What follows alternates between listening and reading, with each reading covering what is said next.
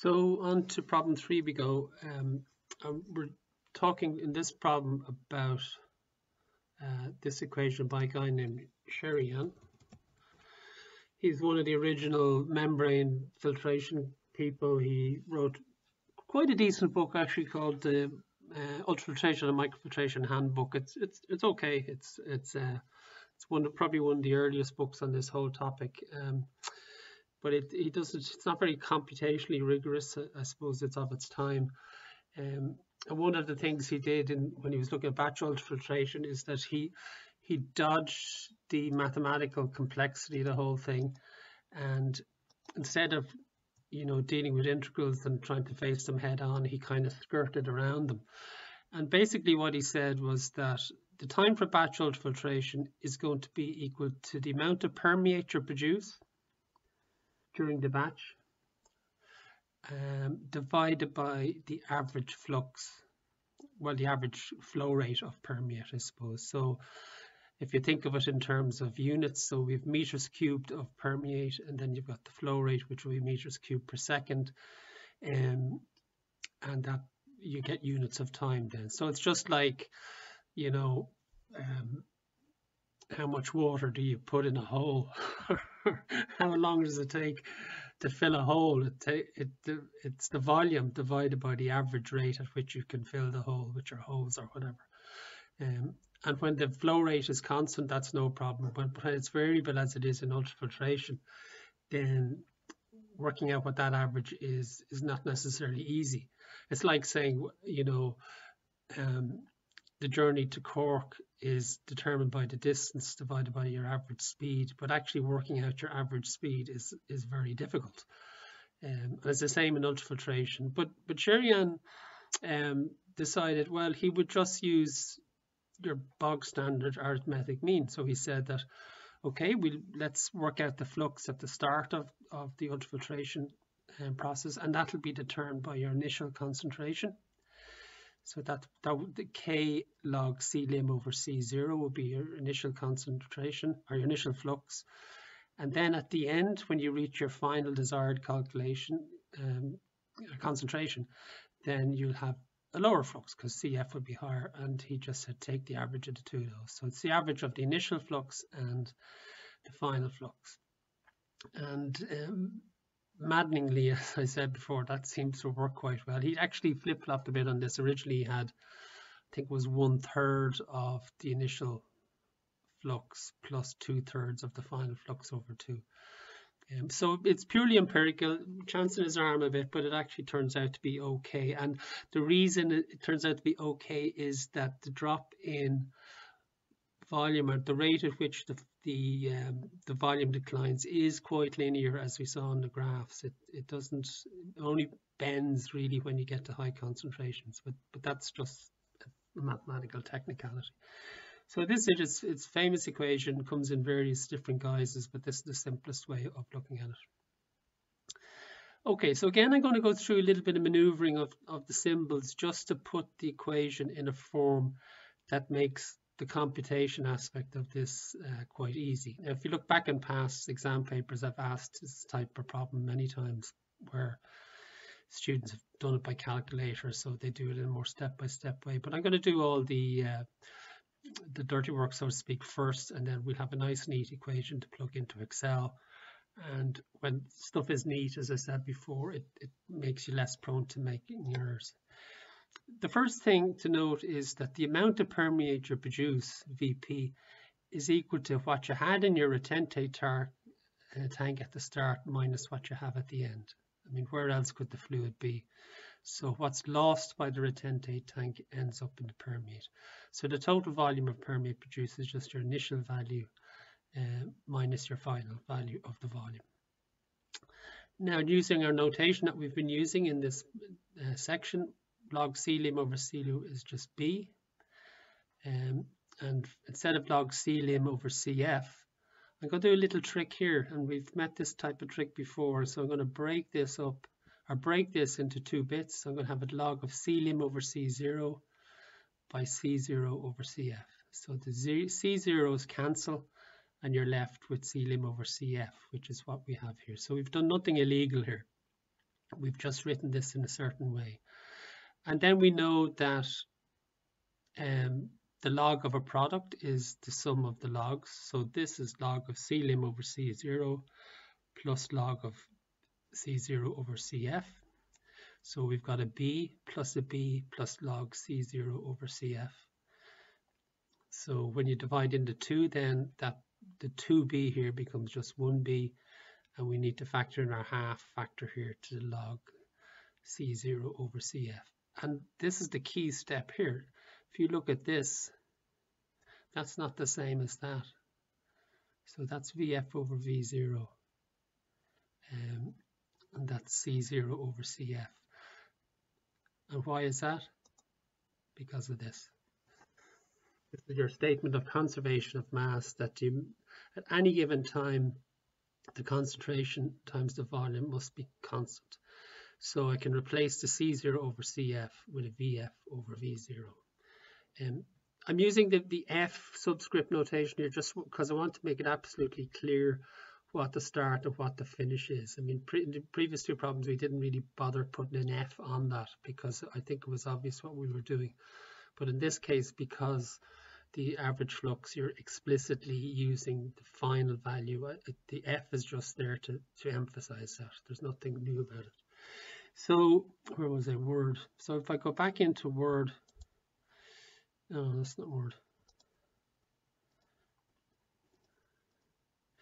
So, so that's where the C0 over CF comes, or turns into VF over V0, which is like your V over V0. It's like your S that we had when we were looking at problems one and two. And then finally, a little bit of, of neatening up. And you can see once again, we have this factor V0 over Ka. So you can think of all of this stuff here, apart from the V0 over Ka, as kind of the approximation to the integral. Um, so remember I said that V0 over K is almost like a, a characteristic time.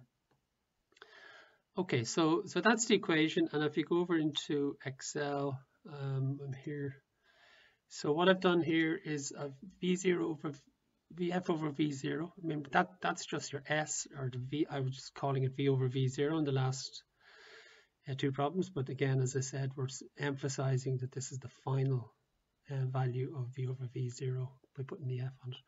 So I've just coded in um, that equation. So, um, so just double check that. So 1 minus C2. So that's the 1 minus V0, VF over V0. Then I've got the V0 over KA. And then what I have on the bottom is B, which is 3 plus a half log C2. C2 remember is VF over V0. Okay, so it's it's the key to this is knowing your balances. So in a way, it's it's harder to use because you have to think about the problem more. Whereas with just the blunt force of uh, Wolfram Alpha, you just you don't really have to to think so much, um, which is both good and bad, I suppose. Um, so let's see how this compares with the values we got in problem one and two. Um, I'm going to go to, okay, I've pasted in here. So there are my, my Cheryan results. And we can see that, um, this, so this is your exact, I'll just get my bearings here.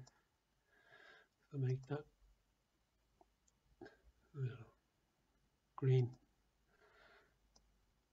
Can't be a bit of color. No, no, it's not text. It's this yoke.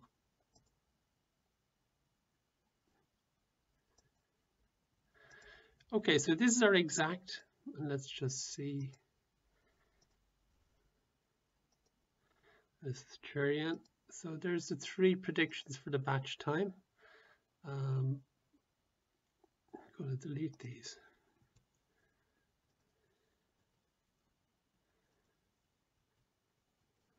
So first of all, I'm going to look at the accuracy of the of that my little approximation. So I'm going to go with uh, equals that minus that. I'm going to just square it Mm.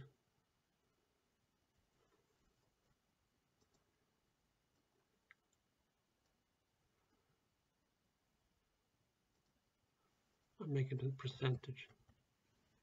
Actually, uh, by that.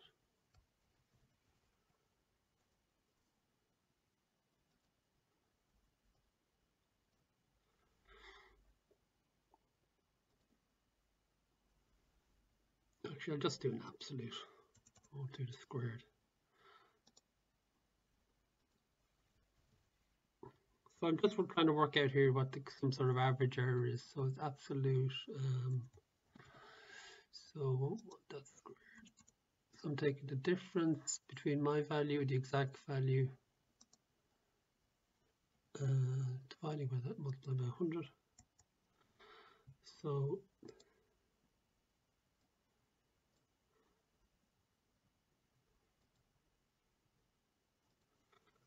equals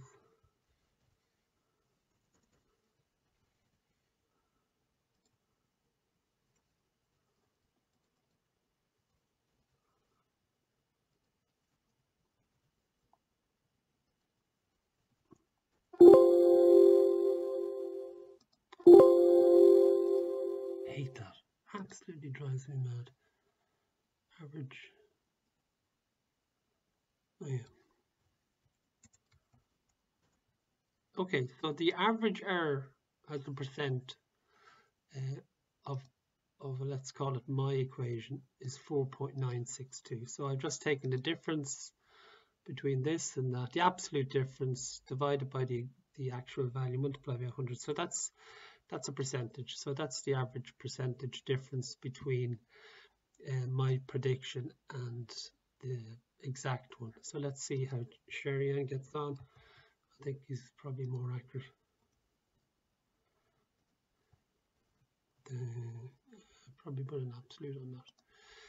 Just so minuses and don't pluses don't cancel. So divided by that.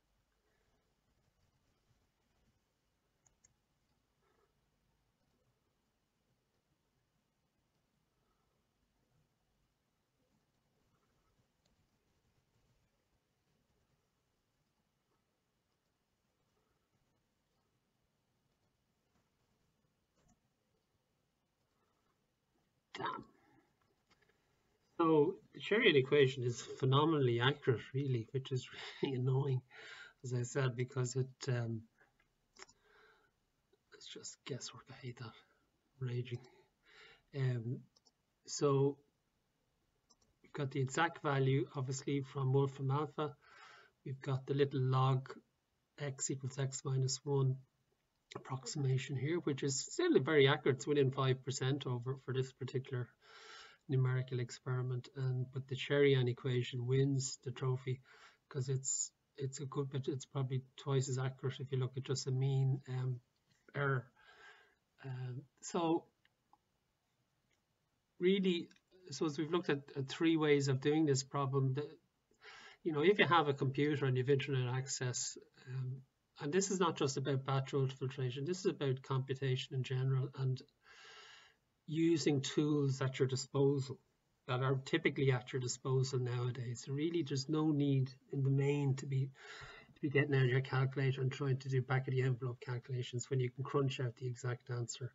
Um, and it applies across the board in, in all sorts of areas of science and engineering that we have all this power, so we should use it. But um, it's it's um it's still interesting. I love this stuff. I know you're probably going to say, "Geez, how does he stick all this?" But I just think it's really interesting how sometimes something that like this this approximation here, you know, you think, ah, sure, that's ridiculous. It's never going to work, but it actually works very well when you crunch through. And then you have an equation that's just plucked out of the air, um, and it works brilliantly.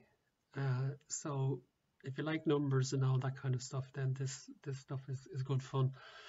Um, so so that's it for batch filtration. I'm going to um, put some diafiltration notes up uh, probably tomorrow Uh, I'm going to cut down on the diafiltration stuff as I'm only focus on one, the most industrial, industrially relevant type of diafiltration, which is a thing called constant volume diafiltration, which is looking at things from a different perspective instead of focusing on the solute that is being kept in the retentate tank, you're looking at the solute that gets through the membrane because you want it to get through the membrane kind of to flush it out. It's it's like the diaph prefix is common to diafiltration and say dialysis. The idea is the same to, to remove impurities through membrane.